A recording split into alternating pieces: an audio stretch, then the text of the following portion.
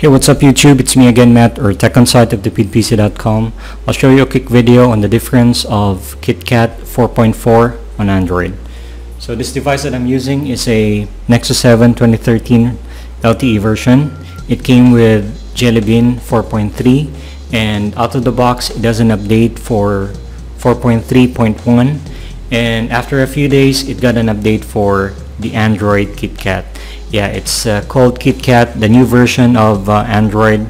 It's a partnership with uh, Nestle and it's the uh, the same KitKat which is the uh, famous uh, chocolate wafer from Nestle and let's see the difference that I have noticed so far coming from an upgrade on the Jelly Bean version. So so one thing that I've noticed is the uh, color scheme.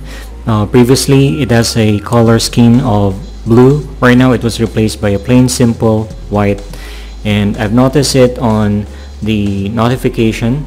Previously the um, the Wi-Fi and the battery is uh, in bluish color. But right now it's it's uh, already white and when you scroll down to the to the notification it's more of a, a plain simple white color. And also when you scroll extreme um, top or extreme bottom the the color here is uh, the animation is uh, white already. Compared to the previous one which is, which is uh, blue in color. As you can see an example here is this device which is a Jelly Bean version. When you scroll before to the top the animation is blue. The one at the bottom it's uh, blue also okay? So and also let's try to check the tablet. So right now it's um, running on Android version 4.4 its build number is KRT16S and if you tap it will show K for KitKat and there you go. It's the Android uh, 4.4 version. Okay. Now when I installed um, Android 4.4 it came with Quick Office and um, uh, Play Newsstand. So the Quick Office is when you when you uh, need to open documents like PDF or Word. So it has a built-in uh, office. There you go. That's a quick office and um, you can also use it to open a PDF file. And the new uh, play uh, newsstand is similar to like a flipboard but this one is made by Google. So you, when you use this to read articles online okay. And um, when we go to the settings one important um, uh, setting here is when you go to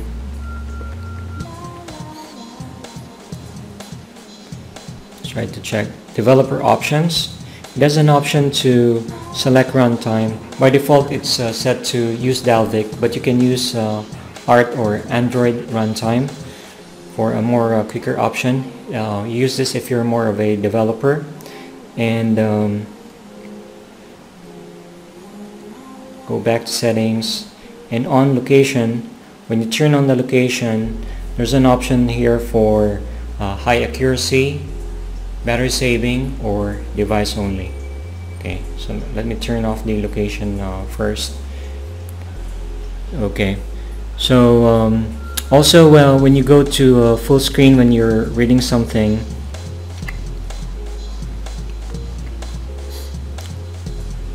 okay so I'm opening a PDF uh, file.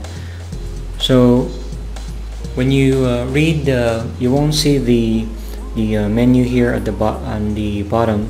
So you'll see the um, uh, what you're reading in a much uh, fuller screen. And if you'd like to get it you have to uh, scroll at the top or at the bottom to see again the uh, the menu there. But otherwise you won't be seeing the um, the uh, menu when you're reading something. Okay. Now one thing I've also noticed is the the uh, logo for the setting and the camera. So it looks like now a, uh, a gear instead of the uh, scroll settings uh, before. And also the camera. It's a plain plain and simple uh, logo compared to the uh, much more uh, 3D looking logo before. And um, on the keyboard try to open the keyboard okay. When you swipe the um, the swipe animation is all, also white instead of the uh, bluish uh, before. Okay. And uh, also when you try to uh, the notification um, the notification when you save something. Okay let's try to edit this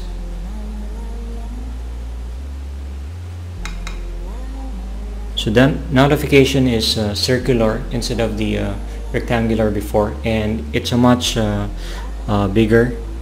So I think uh, those are the things that I have noticed on the KitKat. If if I missed something just put down your the things that I have missed on the comments sections below. And um, this is a good um, upgrade from uh, Android. And they promised that this uh, Android uh, version 4.4 would run even on um, lower specs uh, devices. Um, it's better for multitasking. So I think uh, that's all about it for the features that I have noticed on the Android uh, 4.4 it's me again Matt or Tech on thank you for watching